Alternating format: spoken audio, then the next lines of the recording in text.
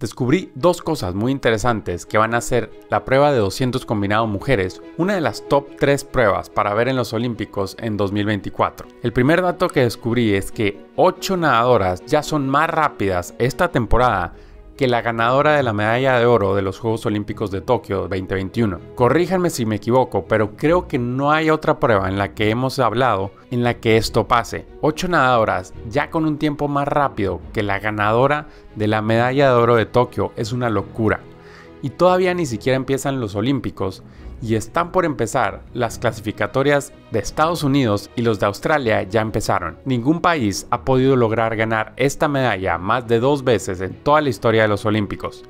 Pero tres países están muy cerca de lograrlo. Estados Unidos no ha ganado este evento desde el 84, pero ahora tienen una muy buena posibilidad con Alex Walsh y Kate Douglas, quienes están rankeadas en segundo y cuarto respectivamente pero también tienen a Tori Husk, que está rankeada en séptimo. Shane Gold y Stephanie Rice fueron las ganadoras australianas en el 72 y en el 2008. Y ahora tienen a la rankeada número 1 Kylie McKeon. Kylie es la favorita para ganar por el momento, pero no por mucho. La única persona en defender el título en toda la historia olímpica de esta prueba es la ucraniana Yana Klochkova, en el 2000 y 2004, y también es la única en defender el título en el 400 combinado. China ha ganado este evento dos veces con Lin Li y Ye Shiwen en el 92 y 2012 respectivamente. El récord mundial y la ganadora en el 2016 es la dama de hierro, la húngara Katinka Hoshu.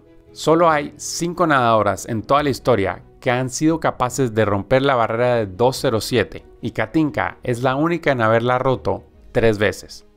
Pero presiento que Kylie McKeon o Summer McIntosh se pueden unir a este club exclusivo muy pronto. Para mí, esta prueba está dentro de las top 3 más difíciles de ganar a nivel olímpico. Los eventos de combinado individual es donde podemos encontrar el promedio de altura más bajo de todos los eventos de natación, lo que puede darnos una idea de que no solo se requiere talento, sino también habilidades extraordinarias en lo básico de la natación y mucho trabajo duro. Las carreras de combinado es donde reclutas el mayor número de funciones de tus músculos y articulaciones. Por eso, la que domine mejor lo que llamamos los cinco pilares de la natación es la que tiene la mejor oportunidad de ganar el 400 y el 200 combinado. Y ese es el segundo dato que descubrí.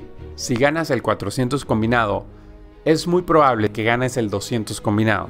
Si no me crees, veamos quién ganó este evento en el 96 en el 2000, en el 2004, en el 2008, en el 2012, en el 2016 y en el 2021.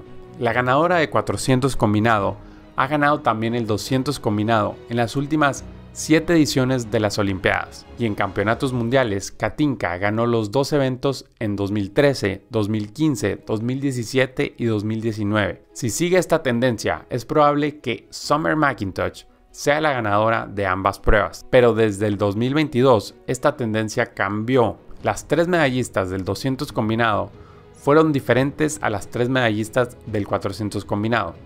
Y lo mismo pasó en el 2023. El progreso en la natación, tanto mundial como en cada individuo, nunca es lineal tiene una tendencia logarítmica que tampoco es perfecta. Considerando que 8 nadadoras esta temporada ya son más rápidas que la campeona olímpica actual, vamos a ver que esta gráfica está por mejorar. Si hacemos zoom a los últimos 23 años e incluimos campeonatos mundiales, podemos ver primero el efecto de los supertrajes de baño en el 2009, después el dominio de Katinka por 7 años y ahora dos nadadoras por debajo de los 2.07, con un tiempo de 2.06 ya estás dentro de las 5 mejores nadadoras de la historia. Pero es posible que este año veamos el primer 2.05 en el 200 combinado y la tercera victoria de algún país. ¿Tú quién crees que gane la medalla en el 200 combinado? Honestamente, yo no sé quién va a ganar. Si quieres ver un video más largo que hicimos de Katinka Hoshu, da clic en este video. Te veo ahí, nada rápido.